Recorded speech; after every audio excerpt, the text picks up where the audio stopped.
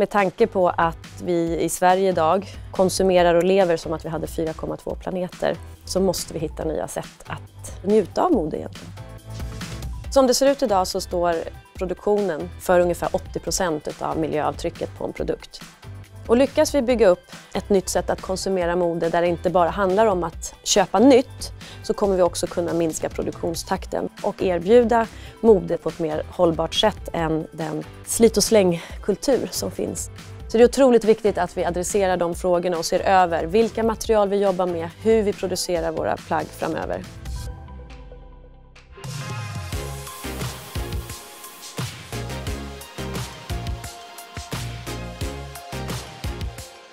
Retextile är ett eh, projekt inom Science Park Borås som syftar till att möjliggöra för cirkulära flöden i textil och modebranschen. Vi har ett system som bygger på att vi ska köpa nytt hela tiden. Det här måste vi ändra på. Att det blir lönsamt att återanvända och återvinna materialen. Skapa produkter som eh, har ett längre liv och är mer resurseffektiva i hur de används.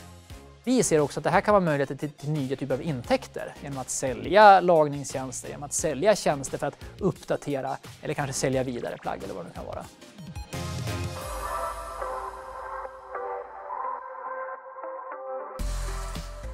Min övertygelse är att det går både att vara hållbar och så kallat trendig. Ett bra sätt att fortfarande känna att man kan uttrycka sig och leka med stil och trend på ett sätt är ju att blanda in second handen. Där går det att hitta typ allt.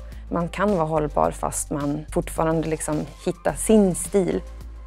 Ja, här är ett axplock av eh, Retextile-prototyper. Eh, plagg omgjorda på olika vis.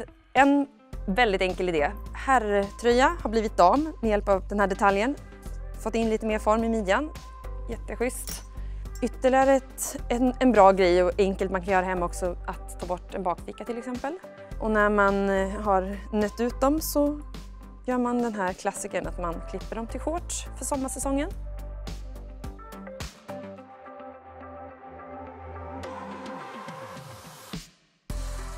Som konsument så skulle jag säga för det första typ en slags garderobsrens är alltid bra att göra lite då och då för att se vad det är jag har som ligger där i hörnerna. Eh, och kopplat till den då, ska du köpa någonting så för det första se om du kan bytlåna med kompis, släkting, whatever. Och behöver man köpa nytt så gör det då i så fall i första hand second hand eller köp något av god kvalitet som tål att slitas på.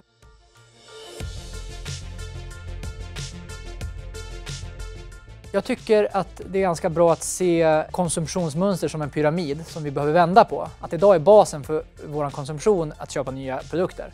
Det kanske behöver vara spetsen i framtiden. Basen i vår konsumtion har vi definierat som att använda det man har och uppleva saker. Så har vi massa lager däremellan. Köpa begagnat, köpa lagningstjänster, dela med varandra och så vidare. Ett sådant beteende från konsumenten innebär en massa nya affärsmöjligheter för företag. Men då måste man liksom möta konsumenten där.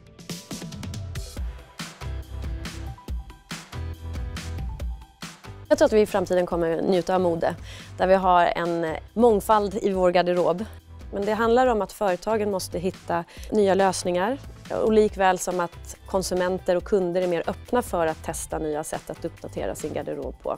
Men det viktigaste är att förlänga livslängden på kläderna. Så återanvändning är alltid det som man ska jobba med i första hand. Först när plagget är utslitet, då kan det gå tillbaks till återvinning för att bli till nya textilier igen.